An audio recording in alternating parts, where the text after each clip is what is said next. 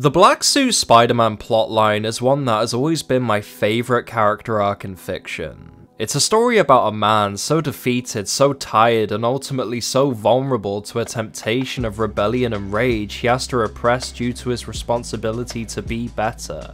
To be a symbol. To be a Spider-Man. In 2018, we played through the story following an optimistic protagonist called Peter Parker. He's a man of extreme will and strength who endures and undergoes some of the most terrifying traumas I could never imagine the pain of experiencing. Whether it's watching his mother figure pass before his very eyes, being betrayed by his business partner, best friend, and idol, or helplessly waiting to hear back from his dying brother on his medical treatment progress. On top of all that, he also has to deal with the everyday issues such as finance, relationships, and constantly listening to a society that never quite 100% appreciates his efforts. He's a character that's written to go through as many problems as possible to prove that you can always push forward and overcome the most overwhelming obstacles. He's a symbol of hope, perseverance, and most importantly, never giving up despite the circumstances and always finding the strength to move forward. However, underneath all those jokes and all of Peter's lovable mannerisms is a brewing darkness, an anger contained and held back by his own moral code to be responsible, which is where the symbiote comes in. The symbiote is in many ways similar to Peter Parker. It's a rejected parasite that desperately wants to connect with someone who it can empathize with and understand with. However, just like any other parasite or addiction, Peter starts to slowly attach and indulge in the symbiote more and more, because it's the only one who can truly understand what he's going through. What makes the symbiote so compelling as a character is it represents something completely different compared to what we usually see with Spider-Man. It allows us to view him on a more personal and internal level. We see his trauma, his pain, and his ultimate descent down a path that completely contradicts the very reason he wore the mask in the first place. It's a metaphor for addiction and how it can destroy us from the inside, transforming us into something completely unrecognizable to our closest friends and loved ones. In the most recent adaptation of this storyline, we follow a broken Peter Parker who is brutally stabbed to death by a ruthless Kraven the Hunter, and shortly revived by the symbiote who leaves Harry so it can attach itself to the perfect host. As the game progresses, we see Peter give off subtle hints of the corruption at first, such as being rude, dismissive, but as the game continues, he begins to hold back less and less until he becomes a pure manifestation of his own internal rage and pain.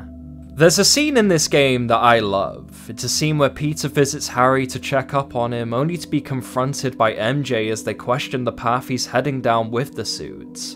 However, what they fail to understand is he's too vulnerable without it. He doesn't want to go back to a life of regret and sacrifice, he doesn't want to be weak, because the temptation of power and connection with an entity that understands him better than anyone else is simply too good to give up. What makes this so interesting and relatable on a personal level is he's completely justified in keeping the suit, because it's an outlet for him in the same way some of us indulge in our own toxic behaviours we know are bad for us and everyone around us. However, we do it anyway, because we're just so tired of feeling weak, feeling helpless, feeling alone.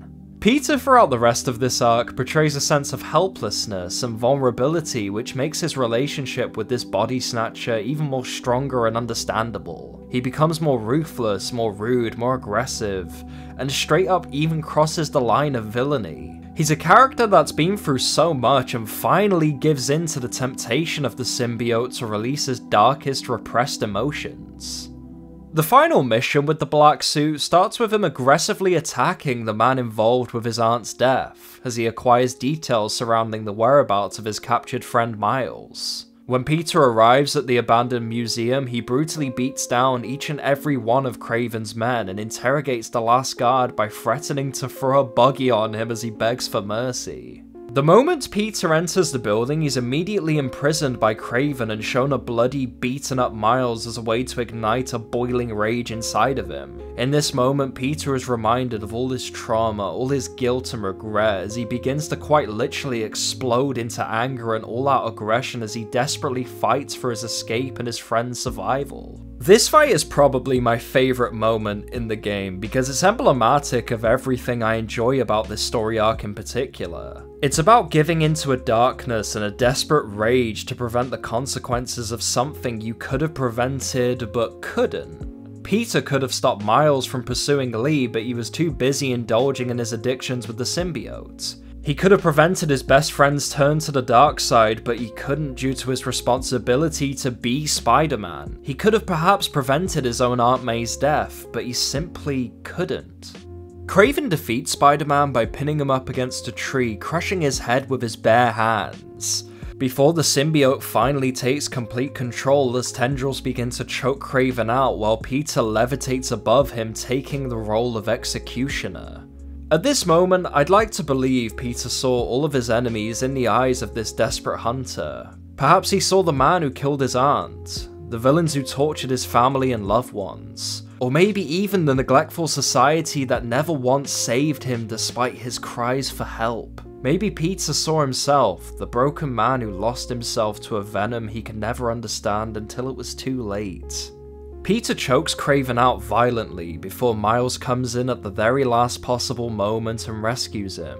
The two Spider-Men look at one another, with one expressing betrayal and empathy, and the other possessing jealousy and guilt. Miles reasons with Peter, convincing him that the symbiote is artificial, it's not a real source of power that heals him, it's just a violent addiction that amplifies his most negative and internal desires and weaknesses. My favourite moment in the Black Suit storyline is the realization of the monster our friendly neighbourhood Spider-Man has become and what it's doing to him. The story doesn't end with corruption, it ends with our hero tearing off this vile addiction and finally learning how to save himself. It represents our darkest, most toxic addictions and bad habits that blind us from seeing the truth and the light in ourselves. It's a story about overcoming the most overwhelming adversities so we can see the light and the strength to beat temptation and not lose ourselves to the things we want the most. Sometimes we have to be steady. Sometimes we have to be better.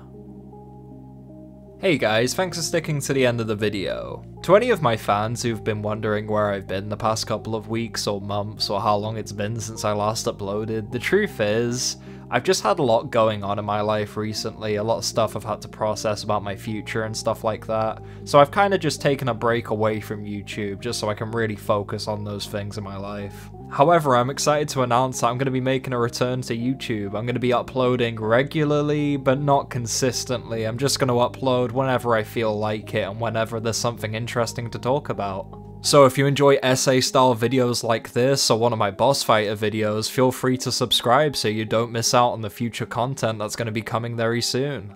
Anyway guys, I'm just gonna go get a drink of water because my throat hurts. I've been really ill the past couple of weeks. There's something about this channel, whenever I upload a video I get ill. So yeah, I'm gonna go get a drink and I hope you guys have an amazing day. Take care of yourselves.